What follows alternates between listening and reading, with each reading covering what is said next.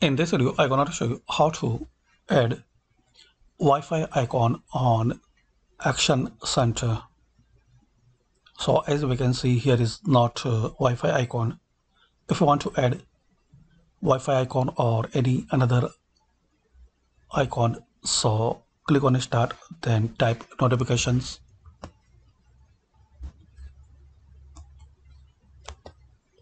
Open notifications and action settings.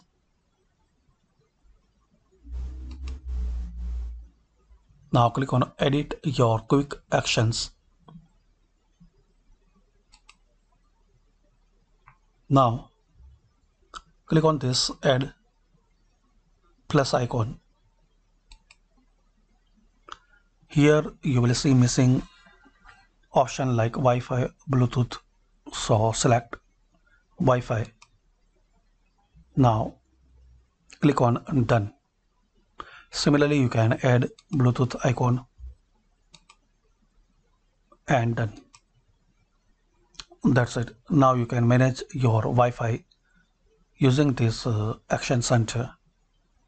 So hopefully guys, you like this video by this uh, simple steps we can know how to add Wi-Fi icon on the action center in Windows 10. Thanks for watching.